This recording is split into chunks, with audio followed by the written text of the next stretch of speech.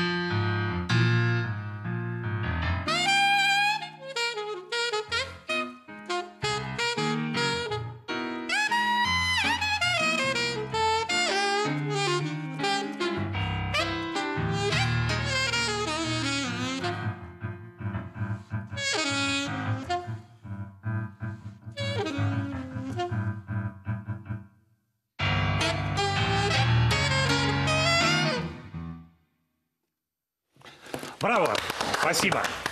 Спасибо.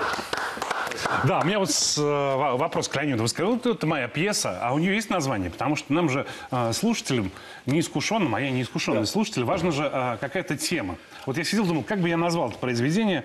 Но вот, раз вы сами не а, назвали, знаете, вам такое. Ты поцеловала меня слишком рано. Я так, такой себе Ну, а давайте оставим это название. Да, вы, вы не против? Это не против. да. Мне кажется, отличное название. Друзья, с какими стереотипами а, вы, а, профессионалы, а, в отношении джаза встречаетесь чаще всего? Стандартная история совершенно уже много лет. Вот, например, Джаз – это музыка для умных. Да ничего подобного. Ну вот я работаю на радио джаз. Джаз – это музыка для глупых? А, нет, нет, нет, это музыка абсолютно для всех. Главное правильно составить лайнап фестиваля, правильно составить плейлист на радиостанции. И вполне эта музыка... Я совершенно не стесняюсь говорить, что на каком-то этапе, пусть это, предположим, возьмем Коктебельский фестиваль, в основной массе там публика не подготовленная, она не джазовая, она не приезжает специально. Курортники, да? Курортники. Правильно составить программу, и люди будут сидеть и слушать, несмотря на то, что даже музыканты, в общем, не самые простые. Я до сих пор поражаюсь. В 2014 году, когда я первый раз занимался фестивалем, к нам приехал Том Харрелл. Все присутствующие скажут, что это не самый простой музыкант с точки но зрения восприятия. Никто не ушел. То есть вот это удивительная вещь, то есть этот стереотип, то, что вот надо в этом обязательно очень сильно разбираться, нет. Оно должно просто зацепить, но очень много зависит от продюсера, от директора фестиваля. От людей. А вот вы сейчас сказали, э, сложная музыка. Музыка довольно сложная для... Ну, джаз, он очень разный, поэтому есть джаз там какой-то базовый. Сложный Он- музыкант, Он, он вы простой, он для меня уже сложный, потому что мне не очень интересно. Я, наверное, плохую вещь сказал сейчас. Есть, естественно, фри-джаз, есть авангард. Э, Для этого есть специальные клубы и специальные фестивали. Там, В Финляндии, по в Тампере есть фестиваль, там лайнап смотришь, понимаешь, нет, я туда не поеду, потому что там как бы мелодии ты не услышишь за 3-4 дня ни разу, ни одной. Так что... Ну, там есть разные крайности.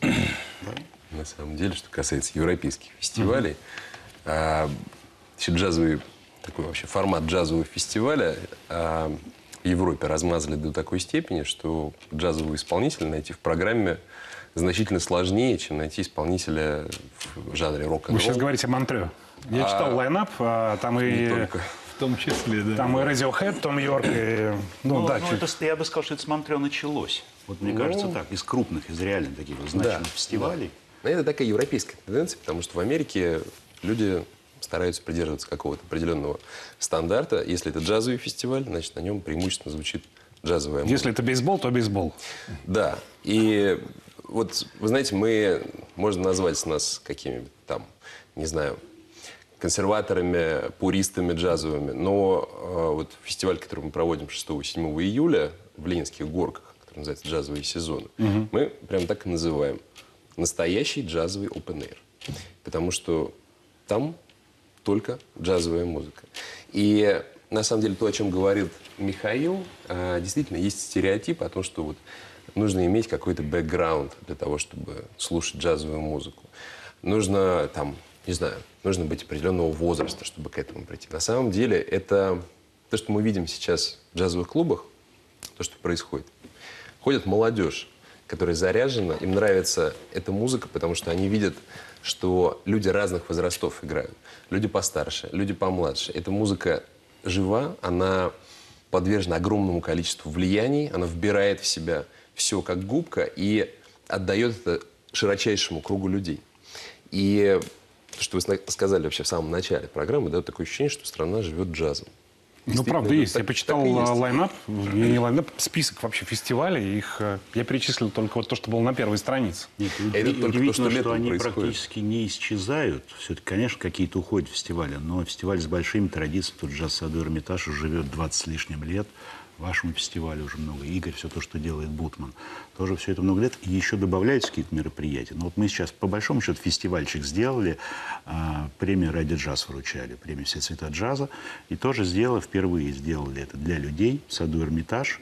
И, собственно, опять же, маленькие фестивали будем продолжать также. То есть еще что-то добавилось, какое-то событие. And Jazz появился год назад.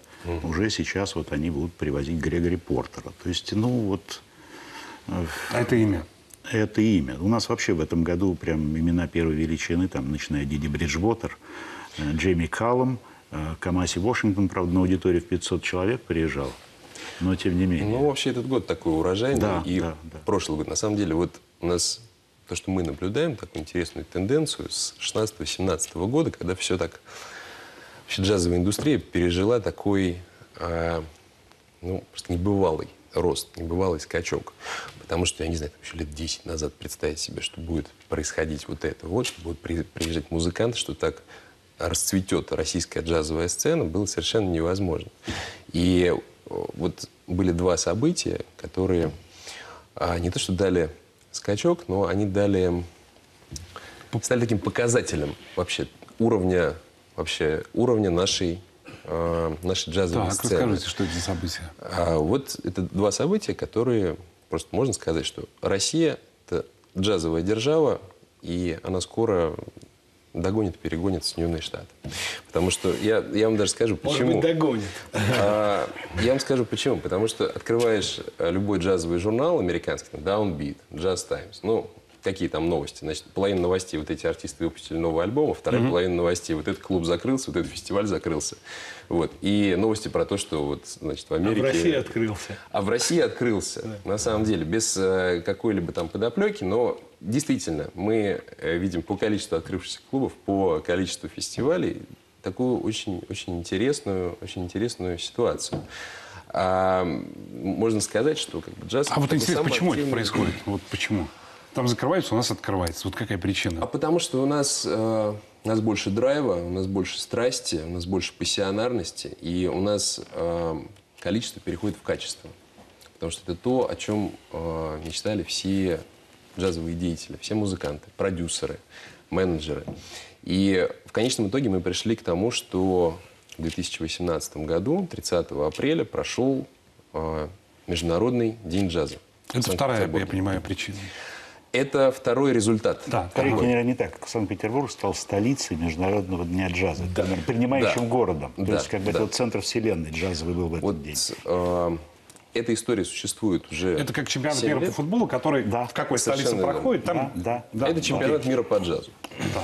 И а, он проходит с 2012 года по всему миру. Он был в Париже, в Токио, в Нью-Йорке, в Вашингтоне, в нескольких городах Европы также. И в 2017 году заявку Санкт-Петербурга признали лучшей.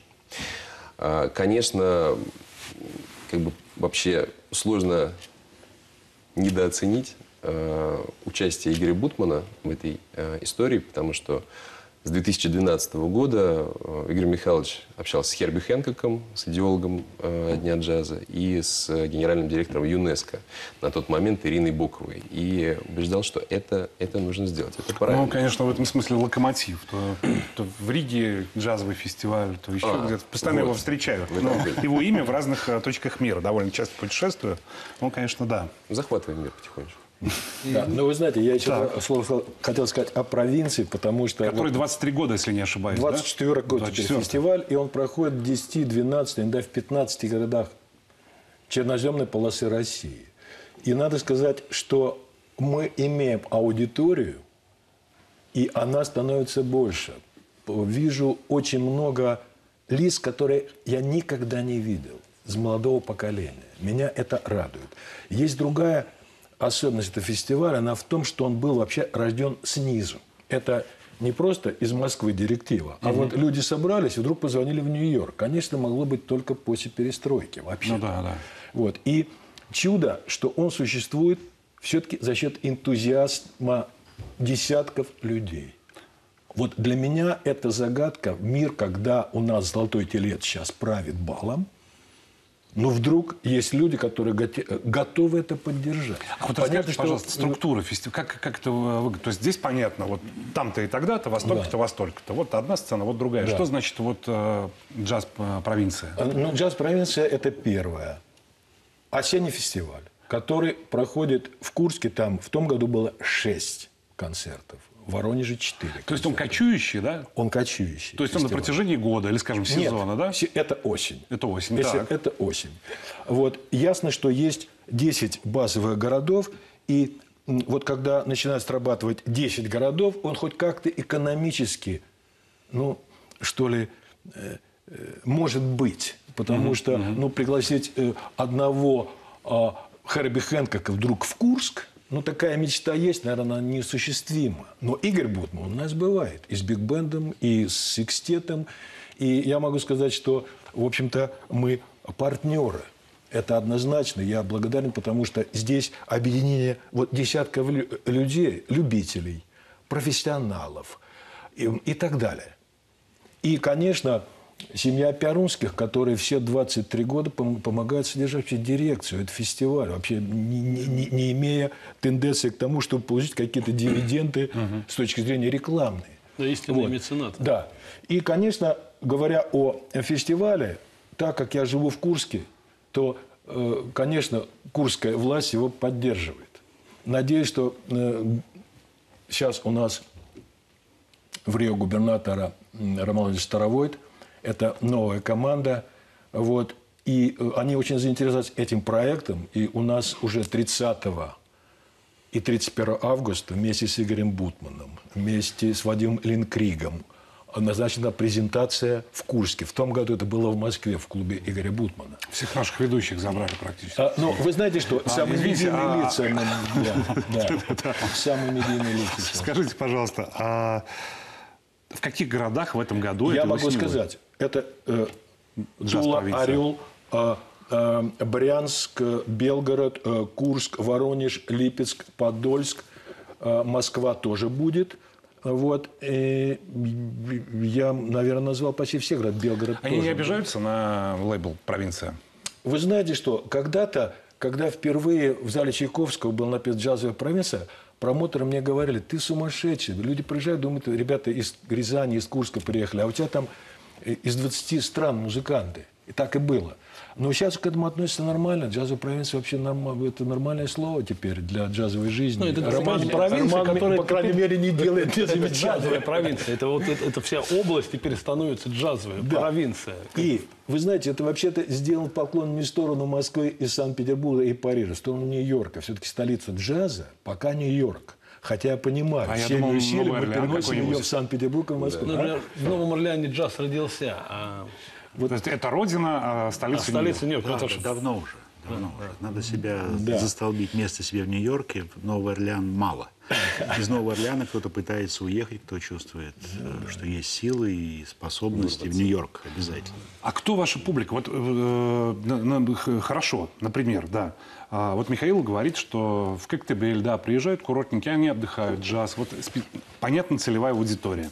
А вот у вас в Туле и Воронеже, они же совершенно разные зрители. Э, э, Я думаю, что все-таки, я бы сказал так, может быть, все-таки часть продвинутого населения этой страны. Мне так кажется. Потому что, встречая молодых людей, нам иногда говорят, это новое поколение, там, не такие, как мы. Вы знаете, столько удивительных приходит. Людей, кто знает больше меня, вот, и какие-то вопросы задают. Удивительно. Потом вы знаете, что Джаз Прэнс – это се- сеть, сеть мастер-классов. То есть не было от Эрни Вотса до Игоря Бутмана, Нью-Йорк Voices. а, все читали лекции. Билл Эванс. Никто ни разу не отказался А, то есть это не только концерт, это еще некие мастер-классы, да? Мы иногда не успеваем во всех городах это сделать, ну, экономический и временной фактор. Бывает, что ну, вот не получается. Но там, где есть два, три или четыре дня, это просто обязательная программа. Для нас это не просто, потому что вот у Игоря была мысль все-таки в Министерстве культуры иметь фонд, который бы он возглавлял и который помогал бы тем фестивалям, которые есть. Это правильно, потому что а, мне так кажется, а, если бы была хоть экономический, и финансовый задел, хоть небольшой для такого проекта, как «Джазовая провинция», мы себя более уверенно чувствовали и были бы, наверное, более результативны. Потому что ну, 90% времени уходит вообще, где достать деньги. Ну, это, это нормально для всех Нет, фестивалей. Для а, любого Рома, фестиваля. это да, но ты понимаешь, когда ты в августе не знаешь свой бюджет, в конечном счете получается в три раза дороже, дорога такой на Эльбрус, нервное состояние, которое заканчивается так, получится или нет. Я однажды, когда получил контракт от Нью-Йорк Voices, но мне стало страшновато, потому что это вот такая папка. Если вы не выполняете там 23-го, там какого-то Ну, сентября, подождите, подождите, а разве не, ну, мы живем в капиталистическом обществе, ну, то есть э, рынок и спрос. Я так понимаю, вот э, Коктебель это же частная инициатива, то есть это, его же не поддерживает Там государство? Поддерживает, А, поддерживает. поддерживает.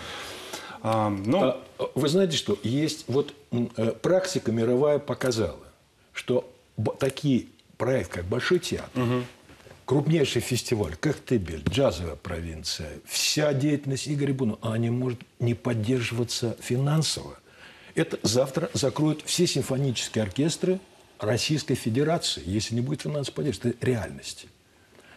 Это объективно. Может быть, единственный Плетнев, кто смог сделать оркестр, который поддерживает спонсор. Не, ну, это очень тяжелая эта ситуация, потому что когда, условно, в августе не знают, э, что будет с финансированием, вы же понимаете, насколько впритык дорожает логистика вся. Логистика, да, да. ну, да, да, А, например, Но вы знаете, что к нашей чести у меня уже э, э, были сейчас встречи с новым руководством Курской области.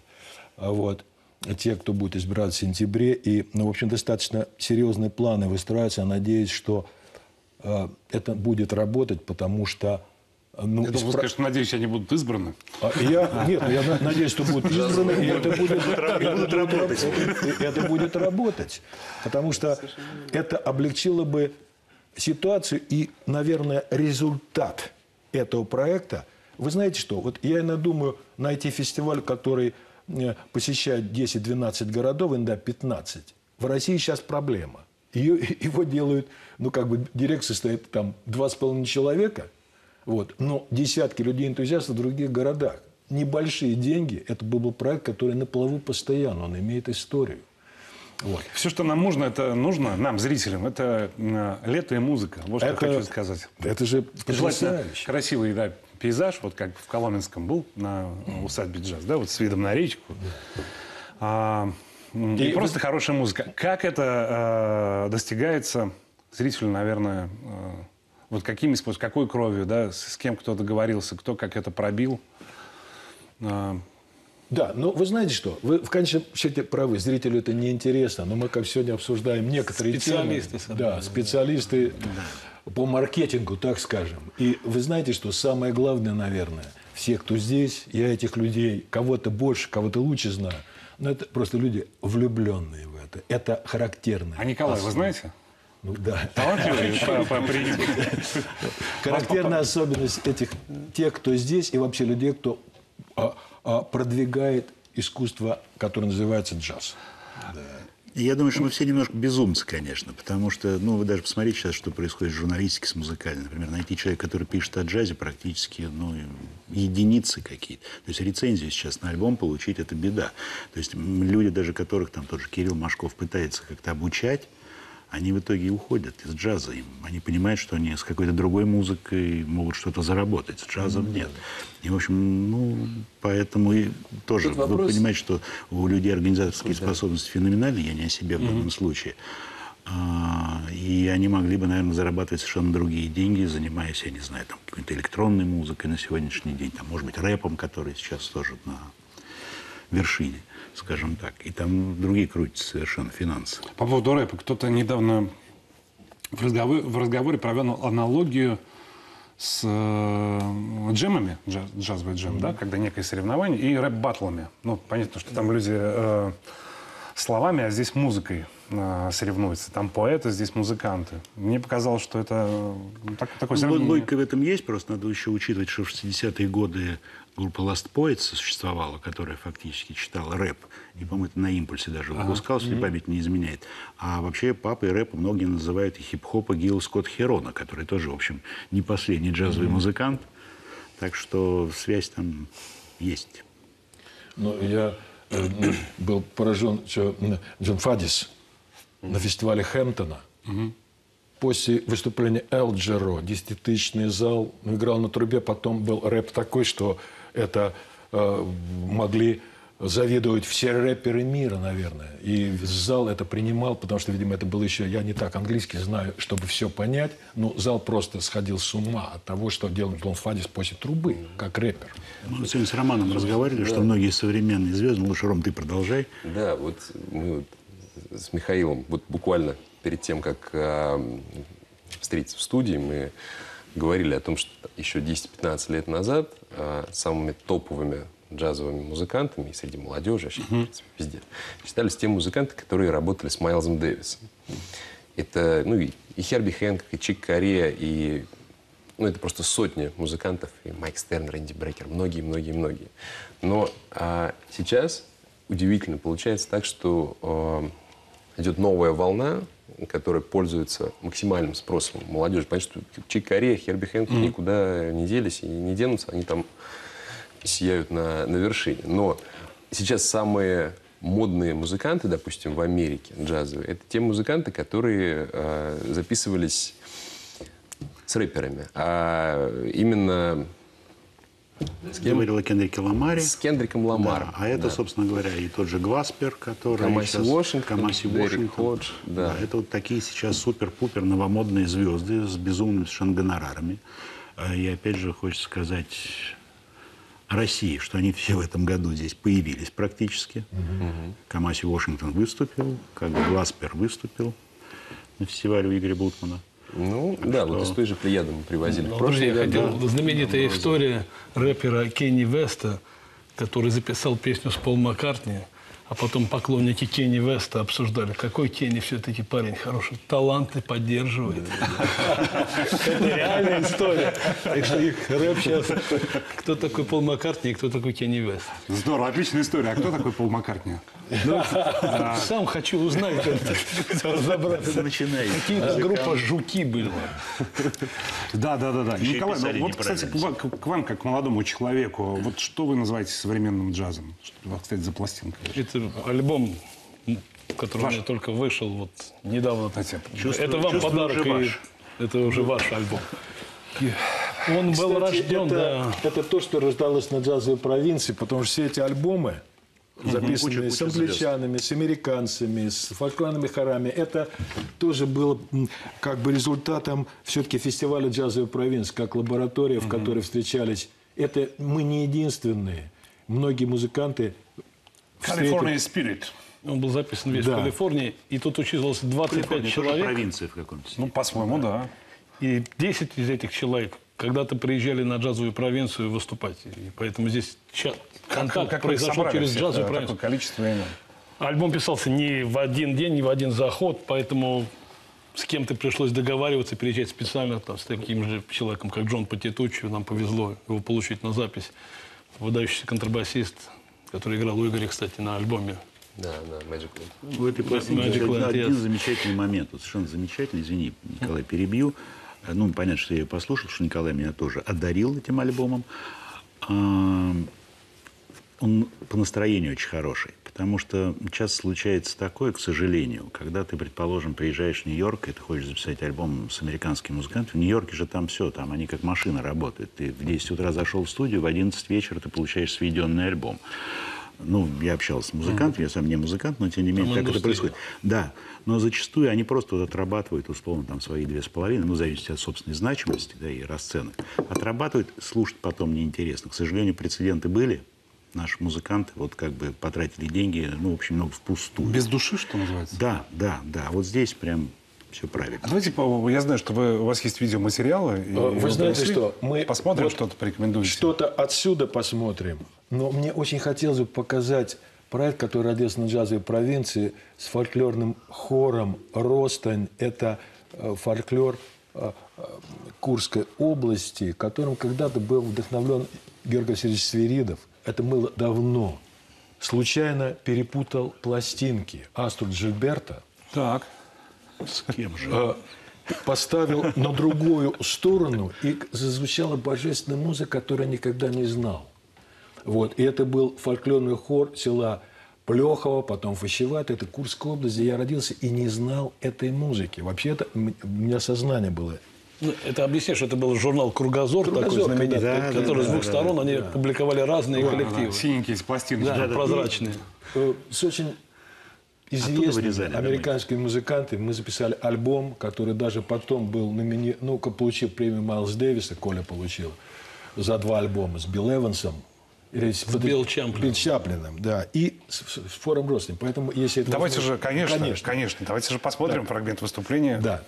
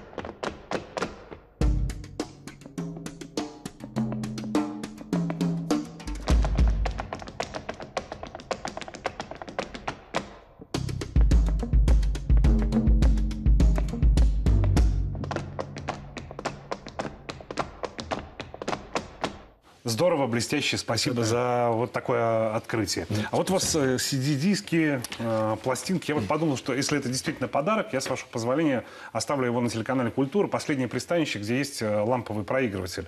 Флешки, ну а... Весь мир переходит на винил. Все, уже MP3, это уже про- пройденный вариант. Люди вернулись, поняли, что А звук флешку красиво не оформишь. Ну как? никак не оформить. Ну, это так целое, как бы, э, культурное пространство. Открываешь альбом, смотришь, что-то читаешь. В этом тоже есть свой смысл, конечно.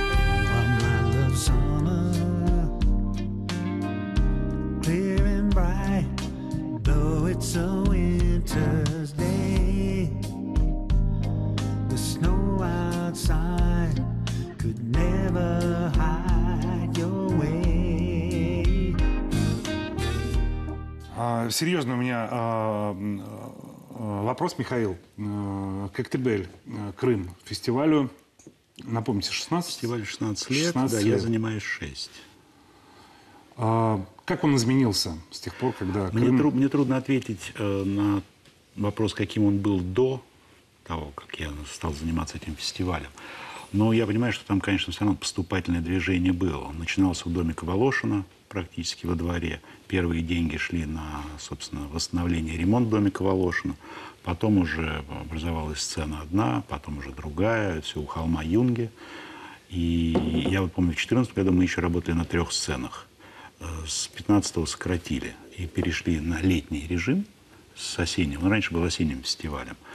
Что изменилось, не знаю. Мне кажется, по уровню звезд, которые приезжают, ну даже более того, какие-то люди были там и в прежние годы, и приезжали сейчас. А, например, группа «Инкогнито», знаменитая, ведомая Жаном Полем Маником. Она была в, в украинские времена и, собственно говоря, приезжала в прошлом году к нам на фестиваль. Поэтому, ну, не знаю, для меня самое главное, что вот на сегодняшний день уже есть тенденция, я в прошлом году заметил, люди специально потихонечку стали приезжать. То есть, если раньше мы как бы, ну, случайно можно было встретить какого-то знакомого, сейчас мне уже даже из Москвы звонят, говорят, Миш, какие даты, подгадаем, мы условно в Ялте будем отдыхать на три дня Коктебель специально послушать. Да и для меня, как для человека, главная музыка. Но как журналисту мне интересно, были ли отказы Да. от э, Да, иностранных да. У нас самый тяжелый год был 2015. Когда в 2014 году мы сделали фестиваль, когда еще никто не разобрался с санкциями, что происходит, и у нас так, пшик, на ура, все прошло. А в 2015 году, почему до сих пор вот и мы перестали анонсировать состав участников? Потому что в 2015 году у нас были отказы, причем они были фактически вот на пороге фестиваля за две недели. за А три- ребята начинали травить За три там, да? недели. Они получали warnings, так называемые, от Госдепа. То есть ничего страшного, ты можешь ехать, но типа на свой страх и риск. Для человека, ну, предположим, там, я назову какое-нибудь имя, Гарри Бартс отказался, знаменитый саксофонист. Ну, человек в возрасте, у него привычный уклад какой-то. Он не заработает здесь какие-то миллионы. Поэтому зачем ему вот нужно... Нам было неприятно то, что и сложно то, что это происходило в последний момент. Вот это была самая большая проблема. А с тех пор мы перестали анонсировать участников фестиваля. В принципе, большой необходимости я не вижу. Это раздражает в первую очередь э, музыкальных журналистов, которых у нас мало. Поэтому это раздражение я терплю. Ну, то, что это будет праздник, э, праздник музыки, вы гарантируете. Да, абсолютно. Но мы ни разу не подводили своего слушателя, привозили, в общем, как бы и многократных обладателей Грэмми, там, или Палмьери, например. Да. А, а вот к, к Роману вопрос. Вот в Петербурге на этом чемпионате мира по джазу а, говорили только о музыке или касались э, социальных вопросов и политических вопросов? Говорили про все. Потому что вот чемпионат мира по джазу, Международный день джаза, это такая вещь, где собираются все представители индустрии из многих стран мира. И в первую очередь, конечно, из страны, которая принимает день джаза. И обсуждают, обсуждают вопросы насущные. Потому что А, В принципе, ЮНЕСКО учредило Международный день джаза, потому что оно видит джазовую музыку как инструмент а, культурного диалога, важнейший. И недаром мы говорим сейчас о том, что мы занимаемся джазовой дипломатией. Мы не занимаемся тем, что мы делаем фестиваль и продаем билет на фестиваль. А мы стараемся заниматься какими-то структурными изменениями. Потому что, а, к сожалению, а, не, как бы, как сказать поточнее, даже не к сожалению, наоборот, к счастью, джазовая музыка а, обладает таким влиянием, и а, у джазовой музыки есть такие способы воздействия, которых нету у, не знаю, у каких-то стандартных дипломатических а, инструментов. И а, действительно джазовая музыка помогает решать социальные вопросы, снимает социальную напряженность в мире. И вообще, в принципе, способствует такой всеобщей гармонизации. Потому что э, джазовая музыка – это в первую очередь, в первую очередь гармония. Джаз без виз. Консонансы. Джаз без виз. был бы. Я, я- я- хочу да. заметить, что вот на джазовую провинцию, я считаю, достоинством фестиваля, никто не отказался приехать второй раз. Самые первые имена. Просто иногда звонят, можешь принять. Иногда не можем принять не потому, что не хотим. Это тоже ну, важность и для страны, и для нас, как тех, кто принимает эту музыку. И я потом, вы знаете, скажу, что- я и про Да. Коктебель то же самое скажу. Притом, казалось бы, что Крым, санкции, все, все, все. Но у меня масса музыкантов уже, которые приезжали, предположим, вторым номером, я даже какие-то мои могу имена назвать, там Крейг Хэнди, Уэйн из Кофери, которые потом пишут, Майкл готов своим составом приехать. Класс. Просто все понравилось. А еще с точки зрения вот объединения всех, два замечательных мероприятия уже прошло. Я знаю, третье будет в ноябре, надеюсь. Но Игорь сказал, что будет. А, Джаб. Across Borders, но это лучше. Да, это такая история, которую мы придумали почти уже там, два года назад. А, дело в том, что многие российские музыканты ездят по всему миру, принимают участие в различных конференциях, выставках джазовой направленности. Это, допустим, там APAP в Нью-Йорке, это Джазахед в Германии. И мы пытаемся как бы экспортировать наш продукт, а это вообще такая самая важная история, потому что вместе с продуктом экспортируется наша культура, и это прекрасно. А, мы сталкиваемся с тем, что довольно сложно попасть на так называемые шоу-кейсы для, вот, для музыкантов, которые предусмотрены, такие выступления артистов для продюсеров. На полчасовочки такие Да. фактически. Дайте догадаюсь. Поэтому надо сделать свой. Ну, Они сделали. правильно. Надо сделать свой, пригласить к нам а, зарубежных, а, зарубежных промоутеров. И действительно, это такая история, которая помогает а, российской джазовой музыке быть услышанной по всему миру. И а, у нас есть 10 слотов, выступают 10 российских музыкантов, и мы видим результат. У нас есть ЛРК Трио, которое ездит по всему миру. Понятно, есть э, Московский джазовый оркестр, возглавляемый Игорем Бутманом, который э, в начале января даст серию концертов в самом главном джазовом клубе мира Blue Note в Нью-Йорке.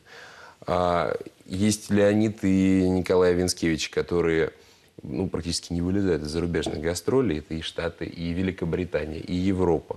И это очень здорово видеть, как достойная музыка, а, ну, по крайней мере, более интересная, чем то, что звучит обычно на шоу-кейсах э, в Германии и в Штатах, а, прекрасно слышит, что эта музыка находит путь к сердцам промоутеров, продюсеров, а, соответственно, и аудитории. Поэтому а, это такая у нас такая национальная джазовая идея получилась. Потому что в 2017 году получилось, что произошла первая встреча джазовой индустрии. Вот за долгие годы, вот сколько она существует, когда у нас джаз в нашей стране возник, в 20-х годах. Да и все абсолютно, и старый млад. Да, Все и там. старый млад. И э, как бы люди знают о существовании коллег по всей России. Люди знают о том, что там, естественно, там такая могучая индустрия в Европе и в Штатах. Но так, чтобы они взяли и вместе собрались, такого никогда не было. И когда приезжают больше тысячи человек, и еще приезжают а, несколько сотен а, иностранцев из 30 стран мира, все смотрят друг на друга и говорят, мы же большая сила, мы можем, мы можем двигать. э, искусства вперед. Да, и очень хотелось бы про, проиллюстрировать, как проходит наша конференция, а, какие люди приезжают. И я думаю, что вы поймете, почему это так важно, почему это так здорово. Хорошо, давайте посмотрим.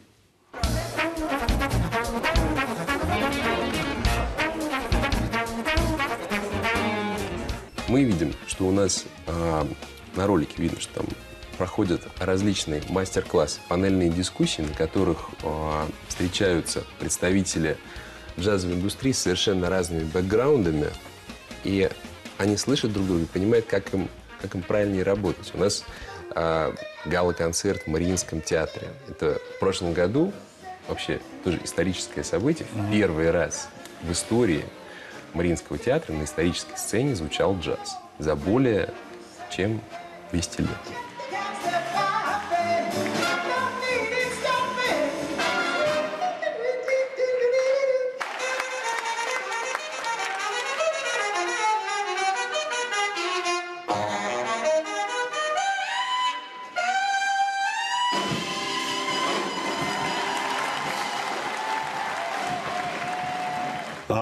Предлагаю, Николай Леонид, можно вас попросить а, сыграть нам еще Да. пьесу? А вот Коля красивые мелодии пишет. Два красивые мелодии сыграем. Все У нее есть название или нам самим придумать? Вы можете придумать, название есть. Название есть. Она выходила, кстати, эта пьеса в вокальной версии на альбоме Never Was a Doubt, который выходил на Игорь Бутман Music какое-то время назад.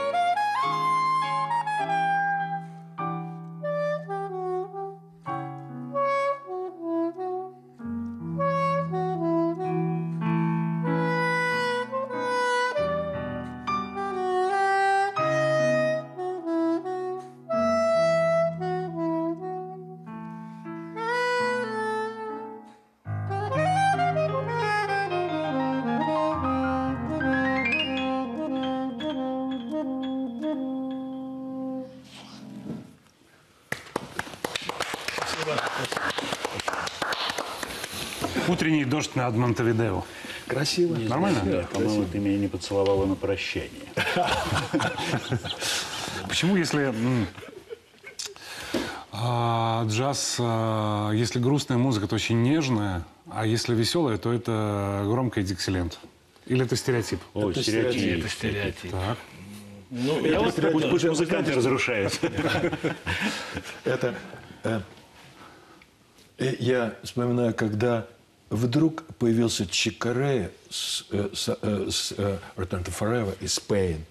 Это, ну, во-первых, говоря, плохо знал английский. Я долгое время думал, что это испанский музыкант, как работал с фольклором. Это, вы знаете, это пьеса стоит целых симфоний. Это было событие для мира. Это нас всех спровоцировало вообще посмотреть на наш фольклор, посмотреть вообще на путь к себе. И вы знаете, получился так- такой период в жизни моей. Там Билл Эванс, Оскар Питерсон, появилась какая-то литература, записи, время. И вдруг Чикаре изме- изменил все планы. Родился гений. И думаю, что такие гении все время показывают нам, как просто быть талантливым.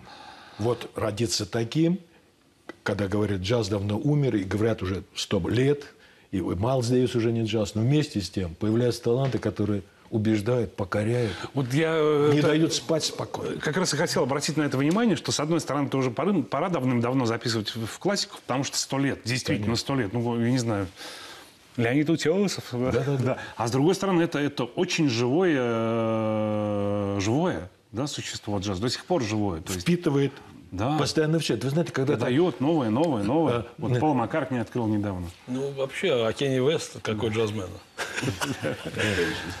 Живое, живое. Да, и вы знаете, что э, как-то время от времени э, разговоры о том, что ну вот джаз там не очень э, как бы популярен вдруг или вдруг э, э, ну, не, не так популярен, как поп-музыка, например.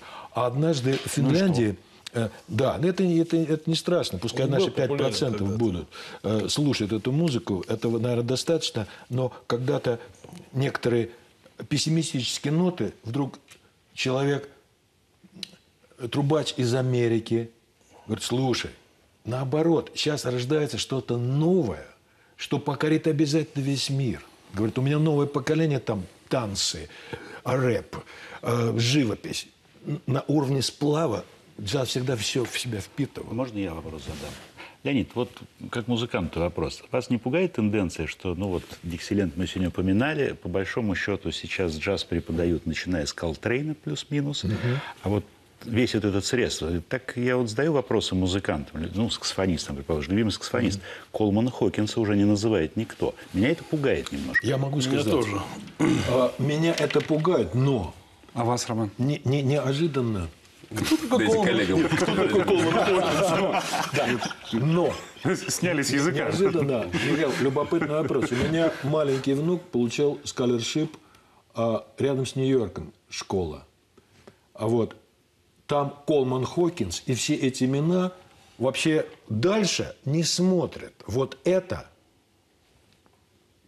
Это ему Он- повезло. да, ему повезло. Он переживал, потому что он уже что-то современной музыки слышал. Но когда стал вникать, то Не, ну, закладываться он- оттуда, мне кажется, должно. Оттуда.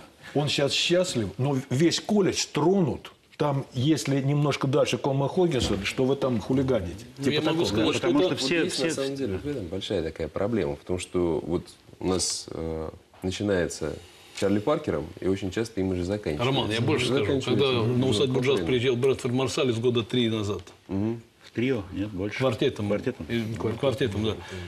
У него было инте- интересное интервью, где он говорил, что все американское образование построено на том, что играть быстро, громко, никто не занимается нюансами, никто не занимается звуком, никто не Это занимается... ничем. 90-х годов тенденция. говорит, это проблема, что мы получаем покупать. десятки Неинтересно. потрясающих технических, Да. оснащенных Да инструменталистов. тысячи, Тысячи, в Америке, да. Но эти люди, кроме того, как играть быстро, он прямо вот, вот как довольно-таки грубо в форме говорит, что а послушайте там того же Бен Вебстера, там, Джонни Ходжеса, люди имели, они, никто же не говорит, что они не виртуозы, но эти люди Еще занимались... Брэнфорд выдающийся папа. Да, ну и папа выдающий. И сам Брэнфорд Марсалис, один из титанов саксофона, которого все знают Не, по ну работе классно, со вот Стингом такие люди далее. эту проблему тоже поднимают. Я говорю, потому что что вот музыкальностью не занимается никто. Во Вся многих- надежда на Лизу Симпсон, правда? Лиза это... На джемах такая беда. Вот очень же много джемов проводится в Нью-Йорке, в маленьких кафешках. Там может быть кафе на 10 столиков, но тут же поставят барабанную установку, клавиши Нет, стоят. это не говорит о том, что Нет, быстро вот- играть, это Ну, плохо. это красиво. Это же, ну, Нет, это красиво, но они играют быстро, технично и без души. То есть вот слово «соул» как бы бум. Везде свои проблемы есть. На самом деле, вот, безусловно, имеет место быть то, о чем э, говорит Николай, но с другой стороны, есть определенные, а, скажем так, определенные нюансы, касающиеся джазового образования а, в России. И мы стараемся над ними работать. И очень рад сообщить, что в сентябре мы открываем первую в России Академию джаза. Пока она будет существовать в формате учреждения, которое дает а, среднее специальное образование, но в перспективе это будет полноценным высшим учебным заведением, где мы проработаем все нюансы, научим играть виртуозно Вот это и со. И смыслом. с душой, и с И с драйвом. душой и со смыслом. и со смыслом. То есть э, это средняя школа, музыкальная школа. с- Это, как- это училище. Сейчас Училище. существует э, Государственное училище джазового искусства, которое возглавляет Игорь Михайлович Бутман. И э, совместно с Департаментом культуры города Москвы мы разработали проект создания э, Академии джаза. Рома, когда все успеваете? Я же пытаюсь следить, но не могу успеть. Не, ужас, они Мы, не- Что вы мы не спим просто. сумасшедшие. Мы потом отоспимся, когда Друзья, вот одна новость, видите, какая хорошая. А я еще хотел напомнить, э, что и где мы можем посмотреть э, и послушать джаз в этом сезоне, в оставшиеся э, месяцы. 25 июля. Чисен джаз. Это Сад Эрмитаж. Либо вы москвич, либо будете в Москве, заходите. Да, приезжает ну, самый модный вокалист на сегодняшний день Грегори Портер и самый нескучный вокалист на сегодняшний день джазовый. Потому что там проблемки существуют в джазовом вокале. А в начале июля, 6-7, э, горки. М, Джаз сезон, так называется этот джазовый сезон. джазовый сезон, фестиваль. Сочи, джазовый фестиваль 1-4 августа. В Сколково, джаз-фестиваль 24 августа. И добро пожаловать в Крым, Коктебель джаз пати И джаз саду 23 Эрмитаж 17-18 августа. Сад Эрмитаж, опять же, тоже. Есть чем заняться. Ну и тогда про осень уже с 23 октября по 7 ноября десяток городов Черноземной полосы будет на- тоже насыщен джазовыми исполнителями из 12-13 стран. Мы сейчас ну, дорабатываем Плюс-минус. тему. Да. Я, с вашего позволения, а, еще раз представлю вас. И это будет почти финал а, программы. А в финале я попросил бы вас а, сыграть еще композицию. Сегодня а, в программе «Наблюдатель» были Михаил Иконников, арт-директор фестиваля «Коктебель Джаз Пати», программный директор «Радио Джаз», Роман Христюк, директор международных проектов, Игорь Будман, Music Group. И а кем вы будете вот в, новой, в новом училище джазовом? Академиком. Мы пока обсуждаем мою позицию. Николай Винскевич, саксофонист и композитор. И Леонид Винскевич, основатель и арт-директор международного, международного фестиваля «Джазовые провинции», пианист и композитор. Вел программу Алекс Дубас, наблюдатель. Спасибо. А сейчас Спасибо за разговор. мелодия под названием А мы сейчас а сыграем одну фольклорную мелодию. Все-таки как бы это тоже... «Запах травы после дождя». Да, решили.